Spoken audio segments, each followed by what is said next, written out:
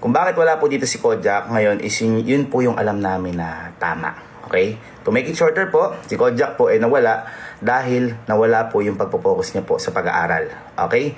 So, two weeks po siyang halos di pumasok pero tinatanong ko po kung siya parate, Oy, masok ka na ba?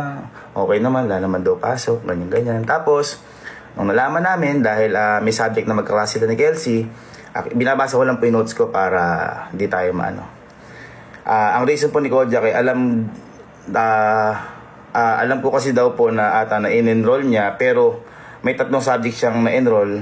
So kumbaga, hindi niya napasukan talaga. So, then na yun, nalaman din namin sa ibang mga teachers niya na FDA siya. Ibig sabihin, failed due absences.